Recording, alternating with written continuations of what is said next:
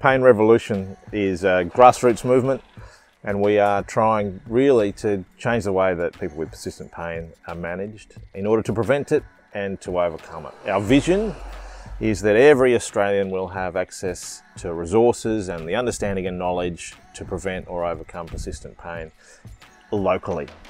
The long game is focused around our local pain educator program. So we offer scholarships for rural and regional health professionals to become experts on pain education and pain care.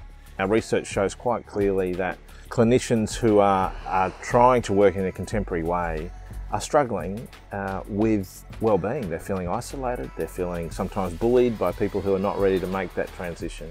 So we train them, support them and resource them and link them up uh, with a local community of practice and to link them into a national network uh, that is slowly growing over time uh, of like-minded clinicians and all of that is promoted and funded to some extent by our annual Pain Revolution Rural Outreach Tour.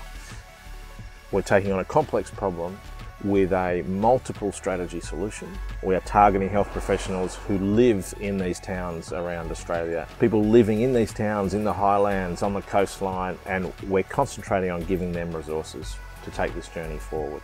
Capacity building, excitement raising, fundraising, uh, it's just a fantastic thing to be part of.